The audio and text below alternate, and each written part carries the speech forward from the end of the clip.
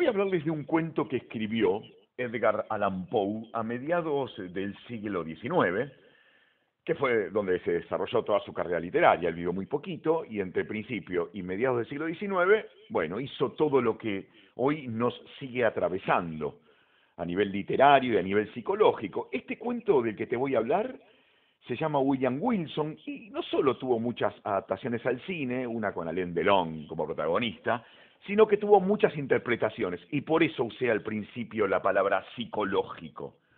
Vamos a recordar de qué se trata, para que la gente sepa de qué estamos hablando. El narrador de esta historia es justamente William Wilson, que de entrada nos habla de un crimen que acaba de cometer por el que siente mucha culpa.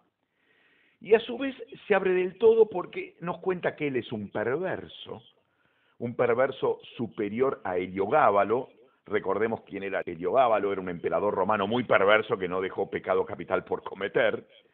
Un día vamos a hablar de él, porque su figura es todo un símbolo. Bueno, en este relato, William Wilson, además de presentarse como el mayor de los perversos, nos cuenta que eh, a sus pasiones nunca les puso freno. O sea, no les puso culpa. Él hacía lo que quería. Y hasta nos cuenta en ese cuento que usó a los demás para poder llegar a lo más alto.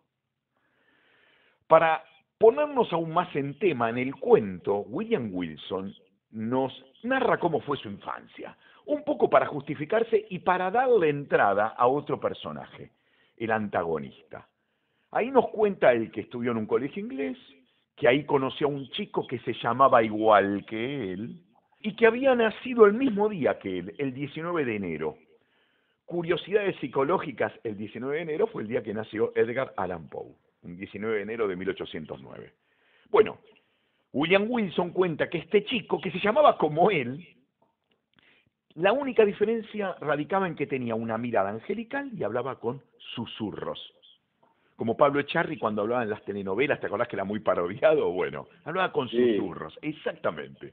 Y otro detalle no menor, lo que le molestaba a William Wilson primero, vamos a llamarlo a uno primero y al otro segundo. Lo que le molestaba a William Wilson primero es que William Wilson segundo lo desafiaba en todo para competir y le ganaba. O sea, siempre perdía con William segundo.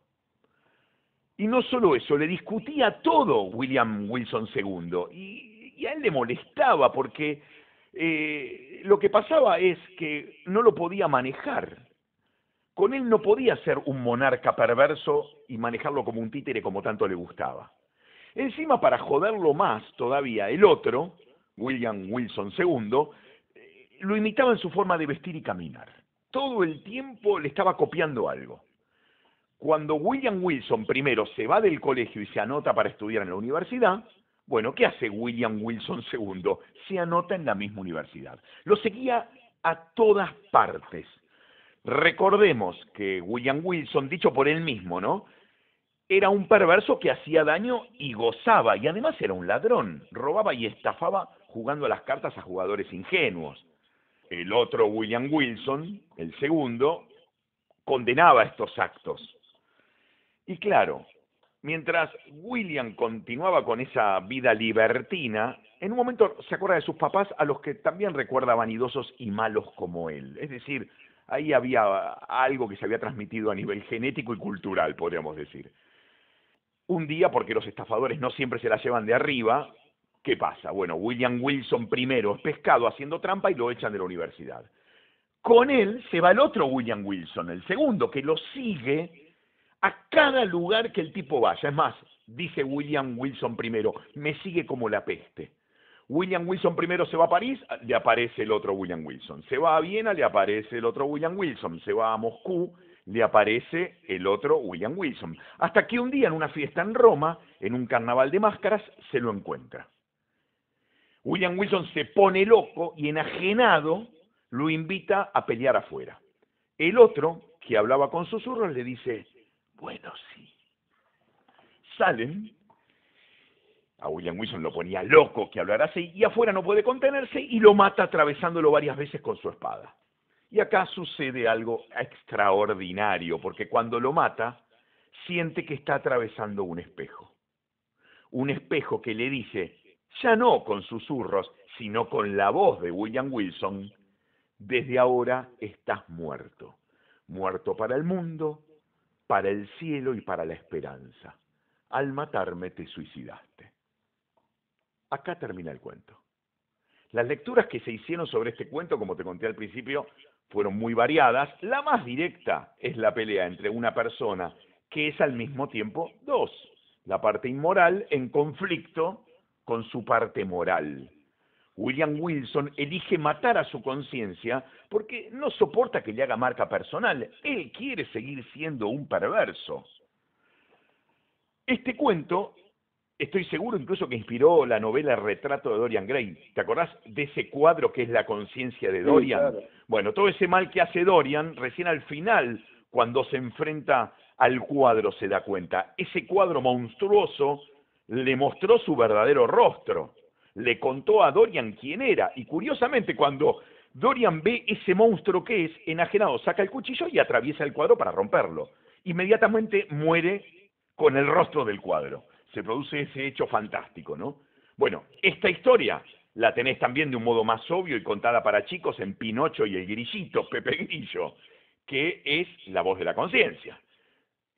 ¿Y por qué te cuento esto un domingo a esta hora? Bueno, por lo que pasó esta semana con Vicky Donda. Esta semana se conocieron los audios que le mandó Vicky a su mucama ofreciéndole para no pagarle la indemnización que legalmente, que por ley tiene que pagarle.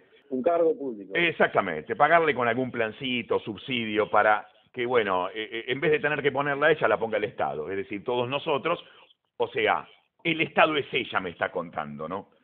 Además de que saltó que la negreaba, justo ella que habla de los derechos sociales y le declaró la guerra a la palabra negro. Pero para esta guerra se ve que se alió con su supuesto enemigo. Yo me imagino incluso los audios de la mucama susurrando, ¿no? Y ella contestándole todo eso que hoy ya conocemos, porque esos audios salieron a la luz. Desde el kirchnerismo inmediatamente salieron a hablar del caso Jorge Triaca. Siempre igual, salta un choreo y te hablan de otros choreos.